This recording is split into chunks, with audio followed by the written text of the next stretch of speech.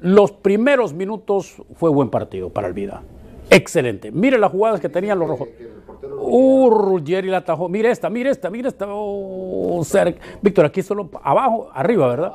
Sí, exactamente. Eran los primeros minutos. Enterrar un poquito el taco y... Eran los primeros minutos. Está la primera oportunidad. Miren la segunda cómo llega por parte de los rojos. Uh, Ruggeri, mire, mire, ve. En dos oportunidades, ¿no? Aquí está otra vez la jugada cómo llega. Es un buen portero este. Es un buen portero, Jonathan Ruggeri. Aquí está. Allí después comenzó el Motagua a tomar ritmo, a hacer su fútbol, a hacer eh, el partido que le correspondía. El Vida fue bajando el nivel, pero nunca se achicó.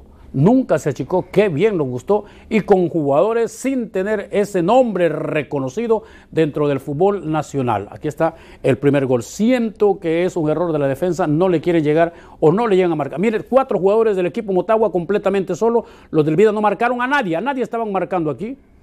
Aquí como llega y al fondo de la red. El primer gol por parte del equipo motahuense y por allá va otra jugada también y se va al fondo de la red. Y acababa de entrar Reinier y Mallorquín. Después lo- alguien se paró en él ahí. Sí, aquí está el 007, Reinier y Mallorquín, que usa el 6. Aquí Pero creo- miren, también ahí el Vida protestó porque era una, era una cortesía. Era fair play, correcto. Era fair Tenía play. que darle la pelota, y esto es lo que le reclaman los jugadores del Club Deportivo Vida. El Vida mandó el balón, esto lo, lo- lo regresan y lo envían de centro. Desafortunadamente Pipo está salido, pero pensando que le iban a hacer la Pues corte.